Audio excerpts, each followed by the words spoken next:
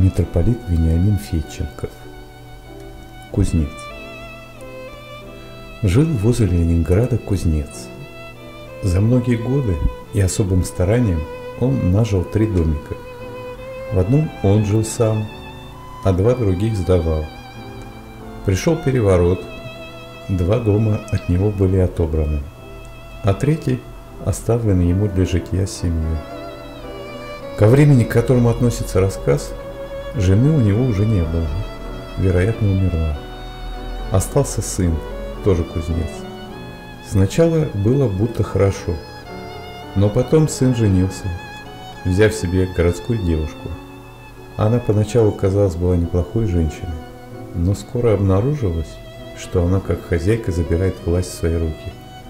Старый кузнец, который заработал дом, противился этому. Сын не мог и не хотел сделать что-нибудь в пользу отца и против жены. Наступил, как говорят, ад в доме. Что тут делать?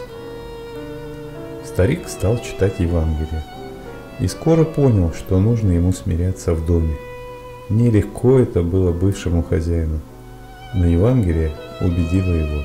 Иного пути нет ему и не будет. Он решил смиряться.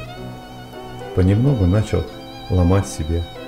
Кончилось тем, что невестка стала полной хозяйкой во всем. Так что старый кузнец даже стал спрашиваться у нее, можно ли ему съездить в Ленинград. И наступил в доме мир.